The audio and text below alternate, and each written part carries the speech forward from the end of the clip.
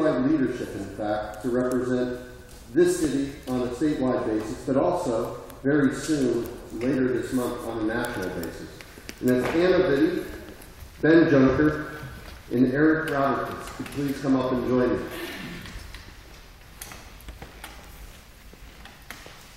Whereas the Pennsylvania YMCA Youth and Government Program aims to bring the workings of state government alive to students and provides them an opportunity to discuss current issues with state administrators, elected officials, and students from high schools and YMCAs throughout the state.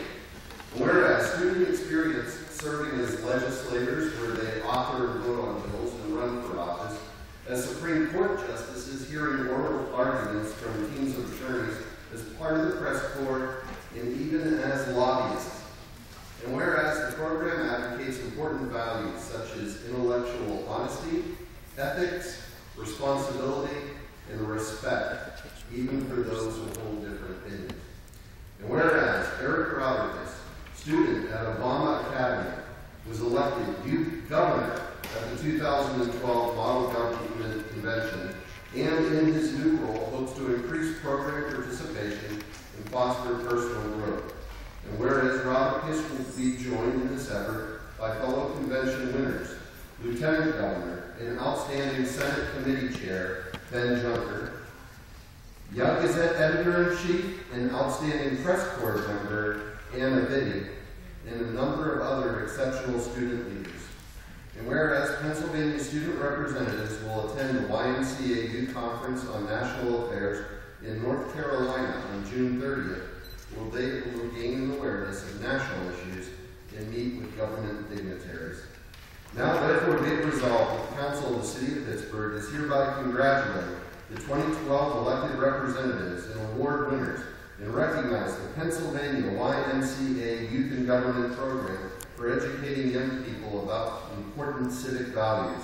And be it further resolved that the Council of the City of Pittsburgh is hereby declaring May 29, 2012 to be Youth and Government Day in the City of Pittsburgh. We have a motion and a second. Second. All in favor? Aye. Opposed, motion carries.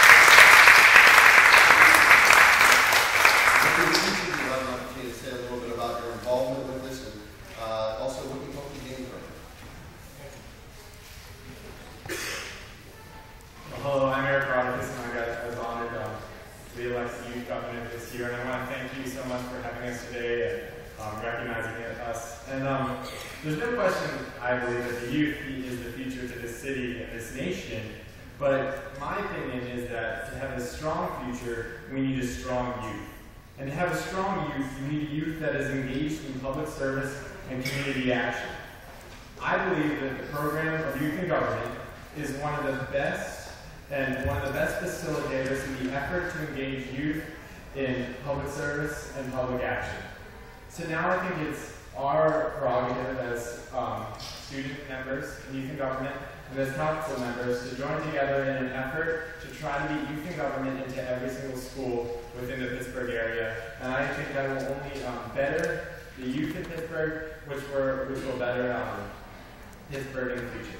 So just on a side note, the council member uh, Rudiak is uh, next week. I get the honor of going with uh, 49 other youth governors from all across the country. Will be hosted by your alma mater at GW in Washington D.C. And I'm sure we'll have a great time there. And then once again, we'll go to North Carolina to represent Pittsburgh at a national um, conference. And really, in that process, it's youth and government is a great opportunity to connect the youth of Pittsburgh to the youth of this state and the youth of this nation. So I think we really need to grow the program.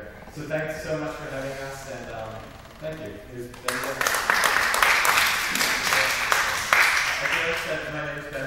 And I was honored to be elected youth lieutenant governor at this state model convention this year. And first, I'd just like to thank the City Council of Pittsburgh for recognizing the proclamation and, having us here today.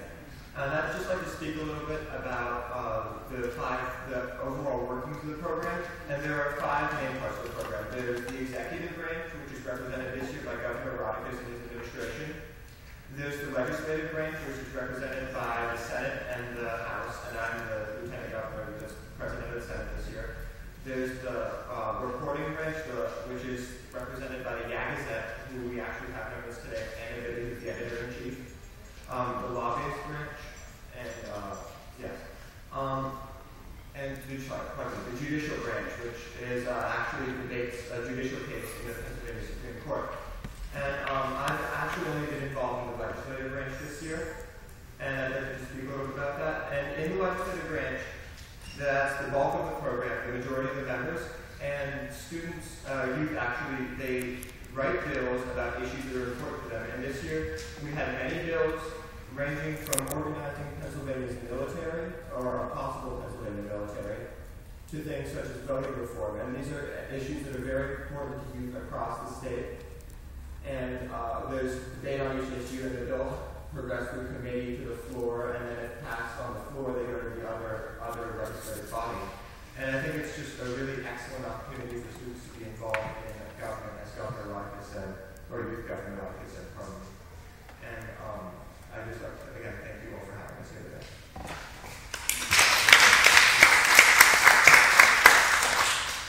Um, hey everyone, my name is Anna Vitti, as Ben and Erik said. But um, yeah, I was elected editor in chief this year, so I kind of run the press corps. Um, the press corps is a really important part, and it's also just a very fun part of youth government. We see everything happening, we get to interact with all the different types of people. But um, reporting that happens in Harrisburg, it comes down to the club at our school. Uh, we go to the Obama Academy of International Studies, and you know that's in the Rising Sun Building in East Liberty. Um, we have a really awesome club with people with really great positions, and a lot of people don't really understand that it's almost unheard of to have people, three people elected into really high positions, all from the same delegation, let alone the same school. So it's really an honor, and I'm really proud of our club. Um, we have an awesome representative. Um, Mr. Rauterkus helps out a lot, and my dad, Mr. Vitti, helps out a lot too. So um, I just want to thank everybody for helping us here. Just kind of wanted everyone to know that it's a really big deal, and we're all very proud of it.